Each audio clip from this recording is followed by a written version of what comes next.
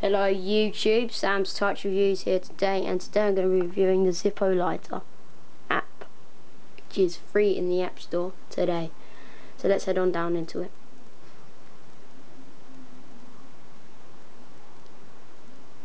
So first of all when you come to the Zippo homepage you're going to be able to choose your lighter and there will be a choice of 28 designs and nine of these designs you'll be able to customize by placing text on them.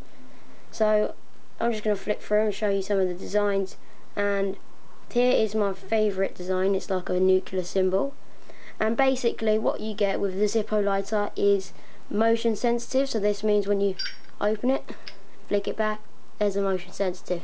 And also when you light it up when you turn it around it was like there would be wind there. So that's another motion sensitive flick it up like it was a real lighter to make it even more realistic to give your iPod an awesome app. So I really like this app because basically for about five reasons.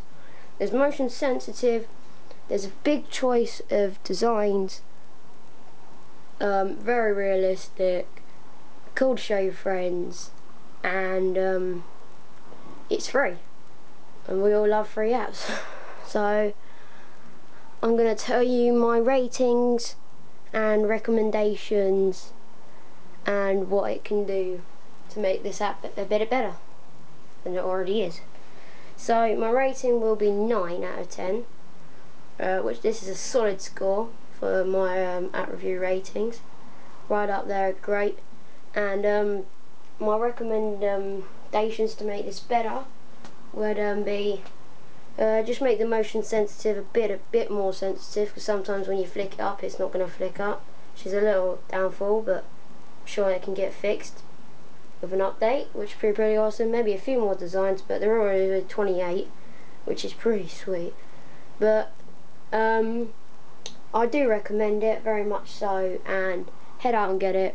I'll remind you again it is free so why not if you don't like it you can delete it but what day? It's free. So I'll see you later. Subscribe.